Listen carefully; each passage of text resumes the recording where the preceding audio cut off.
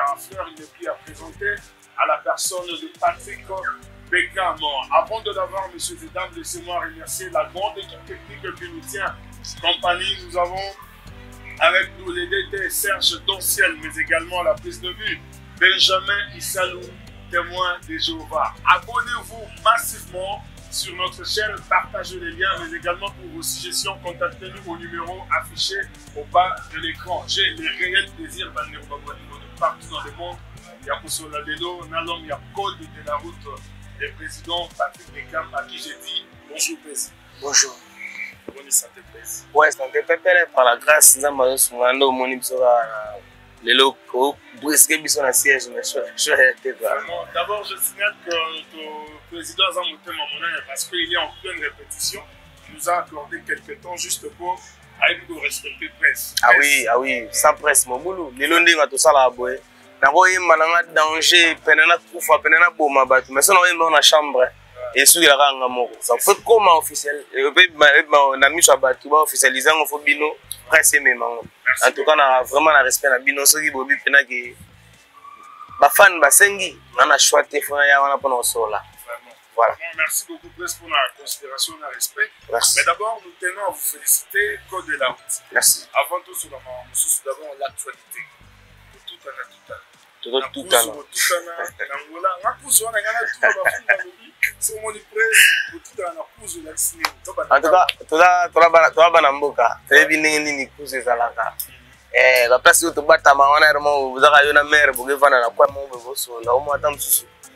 motu moko yo respectaka makasi otali oh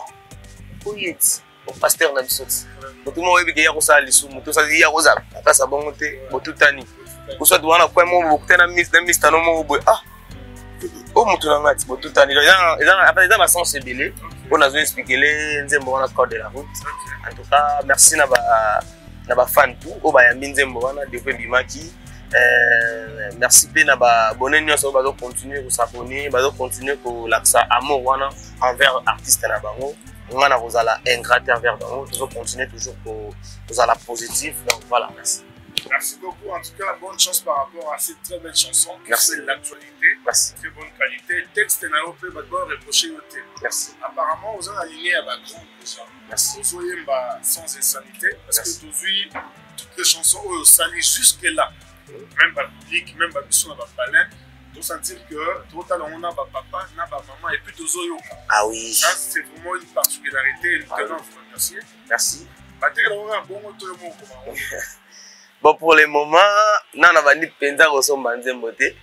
banzembo na nga presque nga momo nakoma yango mais sauf que nao travaille na baparolier oyo bazo aide nga na baarrangement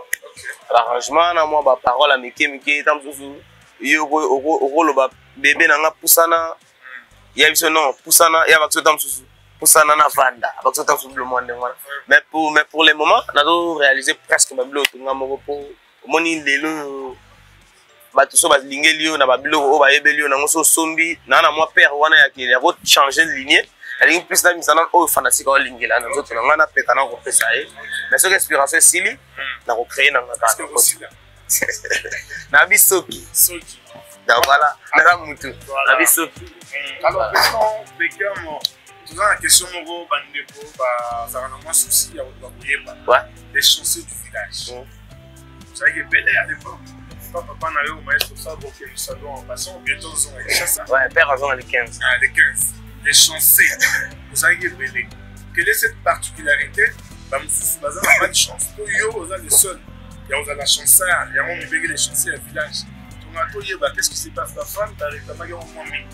les chanceux du village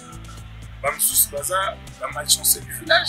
vous êtes l'unique à être les chanceux du village to ndenge non c'est pas ça eza toza ebele mwana mwana na ndako abotama na chance na ye mwana mwana aza na ndenge ayela na mokili omoni nga ndenge nga nayelelaki eza yango wana patrik bekama aza naza parmi baartiste jeune oyo nabima na villa nova natya nzembo te naza parmi bajeune oyo nabimaki na villa nova ya bato banda otya banzembo nga baoseka nga ke ah, ye kutu amoni ayembi nzembo te ka bavocal bani mais naza parmi mpe baoyo ti lelo alongwa villa nova te ta mosusu yo créer différence na bato mosusu nga alongwa villa nova te yokana bisa nazalaka nde na effectif te ya villa nova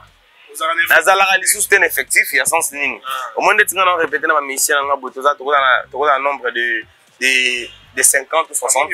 voilà eza na bamosusu baza wana baza na effectif na biso nanu te mais basala bateste to retenir bango totie bango wana avec ngai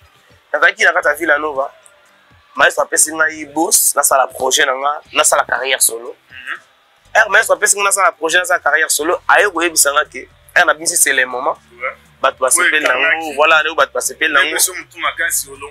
nalongwe te maestro ye moko hmm. alekisi ngai na tele ayebisi bafanatike na biso ke patrick beckham napesi ye chance akende kosala carrière ailleurs pourquoi et osenga biso vila no batana cancer mais patrick beka nzembo ne esenga tourne okay. akokata te mpasa tourne mais osenga bekamaka esa promotion ya banzembo na ye donc folekaka na kolongwa na ke passe na batele na balubashi vila no verepete so nakete na effectif wana wana nakokenda nde nauti angola na orchestre esalaka effectif wana soki esala bongo eoderange eh, agenda na yo voilà eko déranger mpo edéranger te balibere nga nake sala nasala boulot mais naza toujours villageois naza toujours villageois pourquoi les chanceux en fait naza eza occasion oyo bato ebele bakutana nango te donc ozala na groupe moko boye président na yo abimisa ebisa yo ke bonne chance kende sala boye donc eza facile te lokola ngai nakutanaki nango yango wana namibengaka le chancel naza chansar ya kokutana na nini wana après toyobaka sikoyo équipe na biso orchestre na biso opesaka nkombo équipe d'avenir ya biso eza orchestre pene orchestre na ngai équipe d'avenir pourquoi en fait ngai naza chansa naza chancel équipe na biso sikoyo totyaka équipe d'avenir pourquoi pour tobandi sika avenir eza wana donc lobi ya musique ya mboka eza wana donc fallait yango omoni totiango nkombo wana équipe d'avenir tona mposa basoutien ya ba ya bato ebele baya kosoutenir biso donc voilà ya wili musheni code mondial wana via palin eh, baza ebele oyo baolanda ngai donc baya kosoutenir biso baya kotya biso poids omoni lelo fo oyebake bato akala sona papa wemba te bakini kester emene ya te bavena biso badefa oyo bazalaka susu te bamadilu systeme bakenda sikoyo bamaestro baye biso mpe tozoya toza bongo donc tozoya yango nazoloba quand on parle que tozoya cela veut dire que toza pena toza tozoya wana mpona ko remplacer tozoya wana mpona kosala relève en fait lokola toza wana ezosenga kobose ezosenga tosala oyo fai tosala yango nasengi vraiment bafanatique to ya la musique bazala wana mpona biso mpona kosoutenir biso ekozala vraiment bien alors président une question par rapport kaka ya na longwa te napesaka nde chance nakenda omonaki yo obandaki baprojet osinaki na one tel record oyo ezali label ya papa na yo maestro fal mais du coup na nzembo ezobima eza sous na label ya wanted te contrat ezalaki na suka na yango esili to bobebaki na nzela okatani te nga oyo olongwa te osignaki na wanted record musique oyo eza ya papa na yo maestro fabro epuis bapremier projet na yo osalaki yango na label na ye mais actuellement ozotravaille susu na label na ye te contrat esili officiellement to bobebani na papa na yo maestro fabro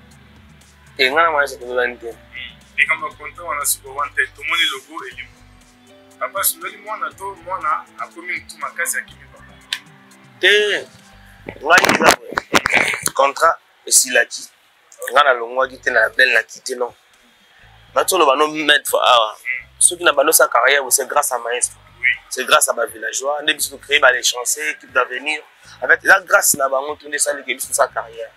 sikoyo maestro oyo apesi nga opportunité nakozala na ingrati ngai maestro aponaki te kinga nazala na kati ya label na ye ngai nde moto asengaki ndenge label na ye nayebi ke eza grand label wanted music nazala parmi baartiste aproduire nasali bateste na ngai normal nde père ye moko azwaki nga tenga na kati ya label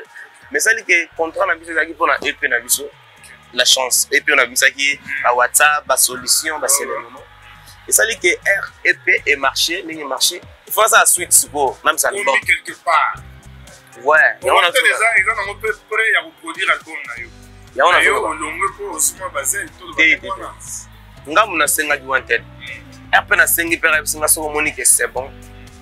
tu peux demander soki omoni ke ofumbwe ofumbwe na yo mais père na biso lokola wante deja ya papa nga sikoyo naza na contexte ya mwana aza na ndako ya baparent na ye papa baleli mwasi apesi ye mosala mwana yaka komosala mosala quelque chose azogane na kati wana epekisa ye te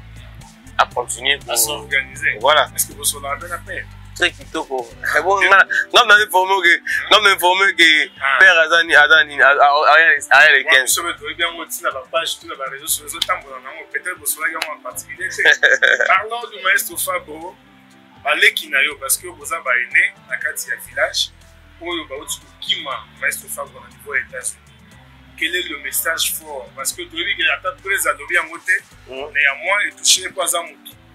bino bofaki na ye bopartageaki bamoment botikali kodecevoir ye ndenge wana te raison pour laquelle lelo apesi yo chance ozo évolue abwaki so yokende liboso mais kotala baleki oyo batikali baabus bazopose epai ya papa quel est ce message oyo patrick beckham le chanceux du village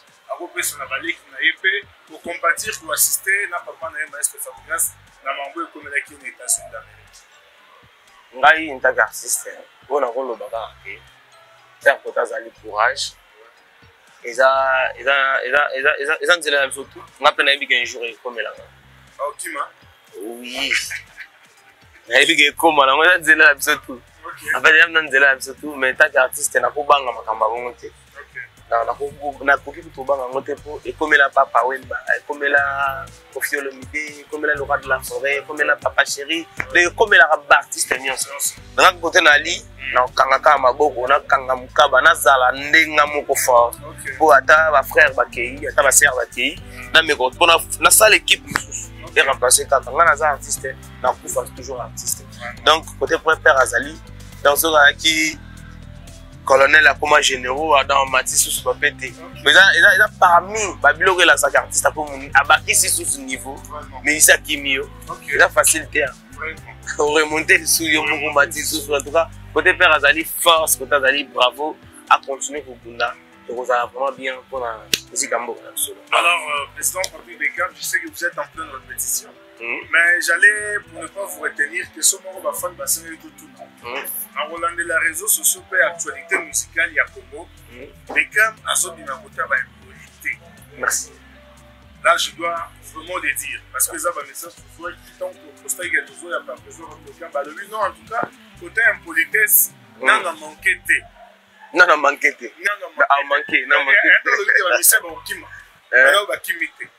Parce balobi président Beckham mpe nana manke te oza na connotation moko positive par rapport ya éducation hmm. oyo ozo dégage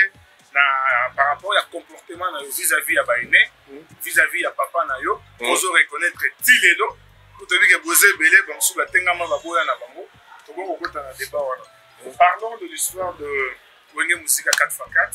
c'est l'actualité eza conscient donc euh, oza bakoko ya yanson oyo hmm. azali formateur ya président na yo euh, prestation wana na bapolémique oyo ebimi na réseaux sociaux bavie bavida balidi tout ça yo tant que artiste ozo hérité musique ya congo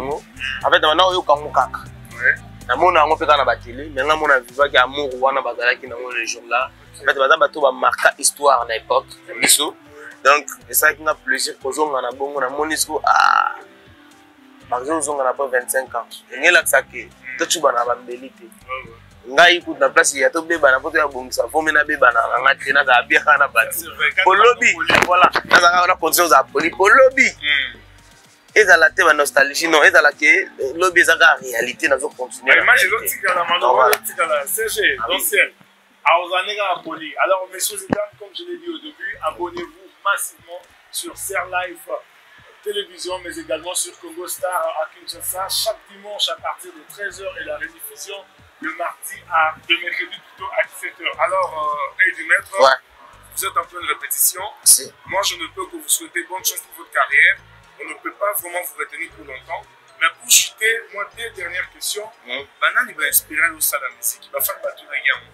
Koyoka yo ozo bimisa batu ebele. Ozo bimisa rumba kala, ozo bimisa rumba lelo. Donc vous sentez que c'est un artiste complet ou ozo maîtriser musique. Ouais. Ça, je tiens à vous le dire ouvertement devant les médias. Merci. Oyebi musique. Merci. Hein, pour ne pas trop commenter, oyebi nde penza musique. Merci. Mais banani bazalaka ba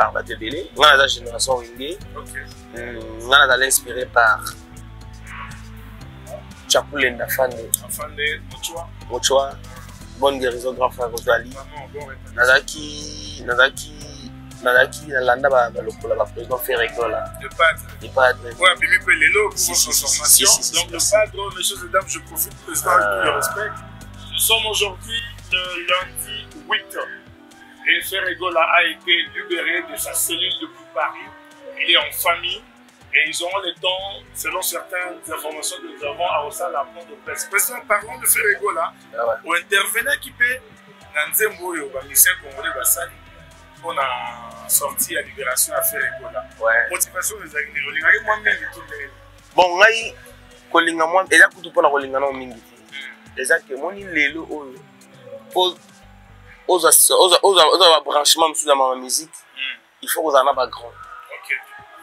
nga naza artiste oyo nakoti studio nayembi nzembo nzembo bango moyoka mais eza na baréalité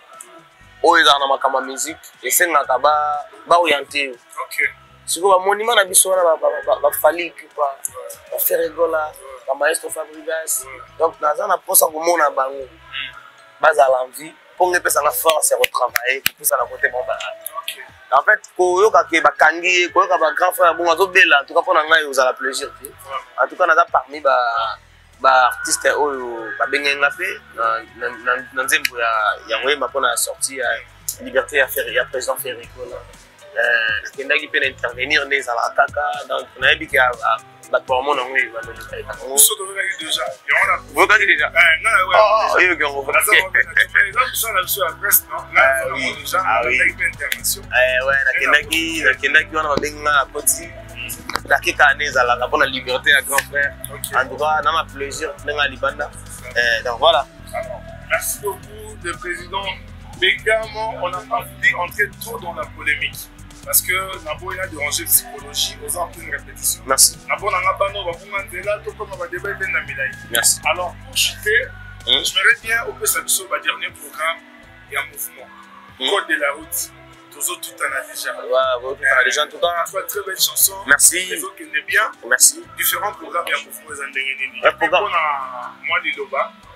na chaîne na biso serlife télévision na youtube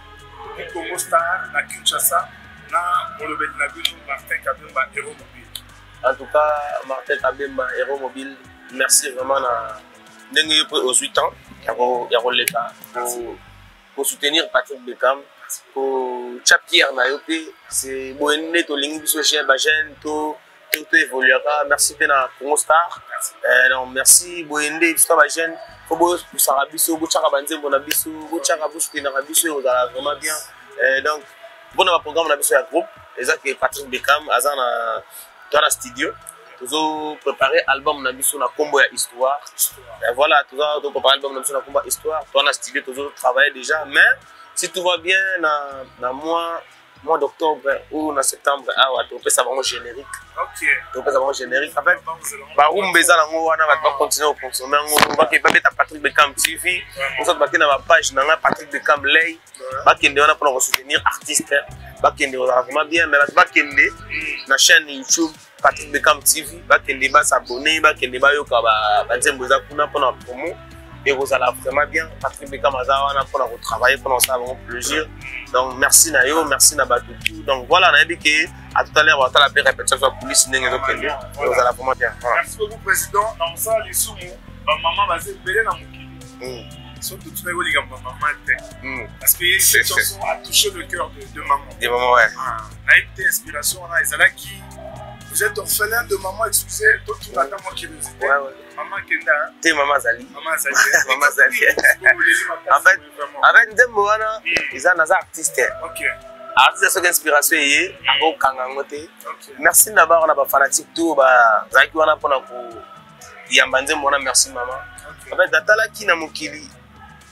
eza na kado na kopesa bamama te komimona envie boye eza grâce na bango yo mpe komimona envie eza grâce na bango mama mama azala envie ou pas mais soki yo moko mikuti kaka oza enfance eza na grâce na ye nde obimaki ata motu moko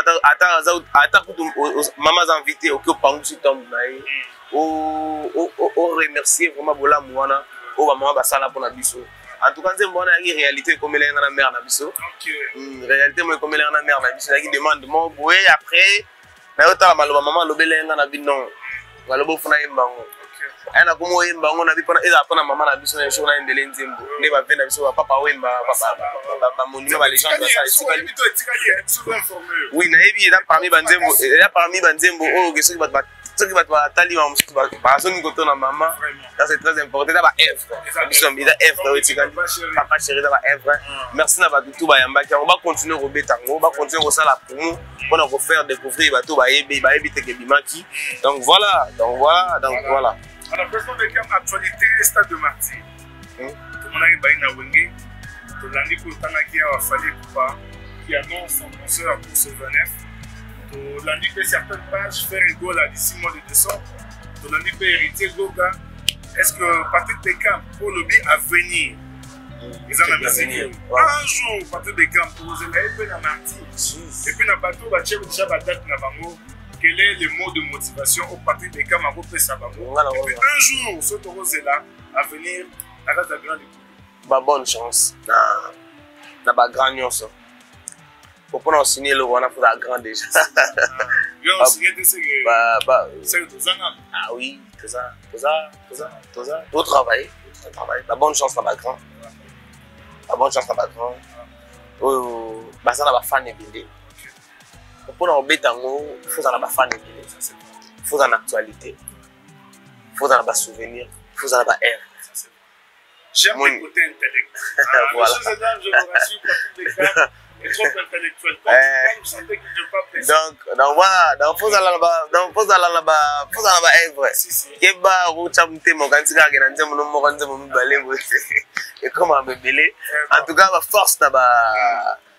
na ba grand tour oyo bakobeta wana bacontinue kobeta en fait makambo baosala hmm. nde tomotive biso lobi mpe toya kobeta yango en tout cas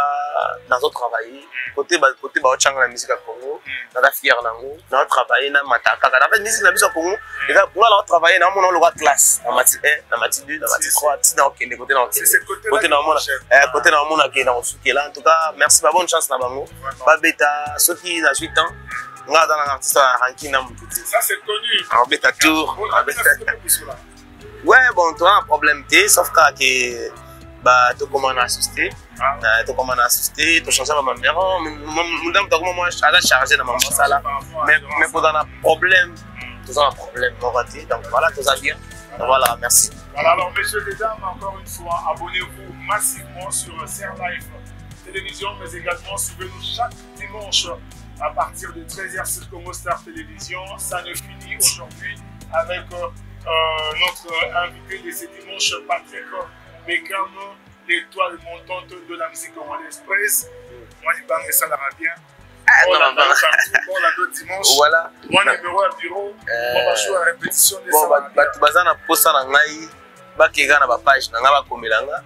numero ya biro na nango mpenza na motu te en tout cas napesi babon dimanche na ngai napesi bambote na ngai na bavacanciere na vacanciere to baza na kine napesi na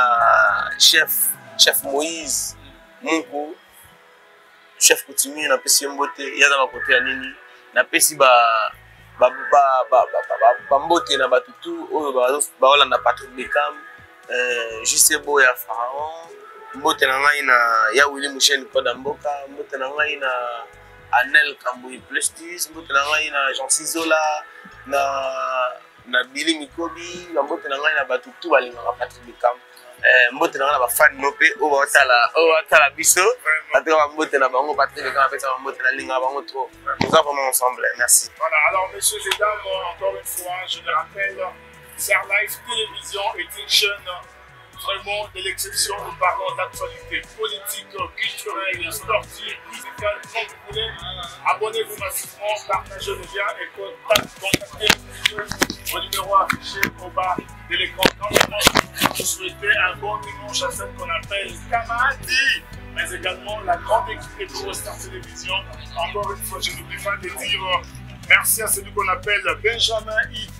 ça donne la plus de vie, mais également le directeur technique Serge Donciel. Abonnez-vous massivement et restez branchés sur Serge Télévision au prochain numéro.